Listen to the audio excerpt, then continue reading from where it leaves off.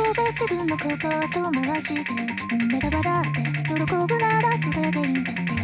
誰のせいでもなくてこれが当たり前だってそう言い聞かせていたんだ。間違ってない間違ってないと思って。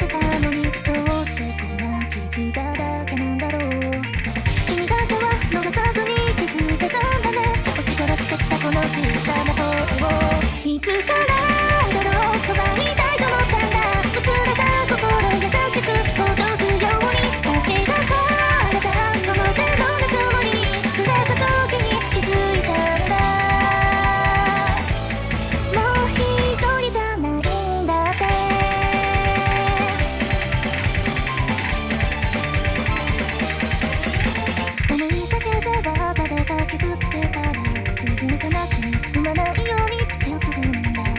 心染みついた傷もいつか誰かのことを守る力になればと正しい道選び歩いてきたはずがぼやけてしまうこともあるけれど諦めて投げ出したと思ってた。もの今も大切に包まれていたんだよ守り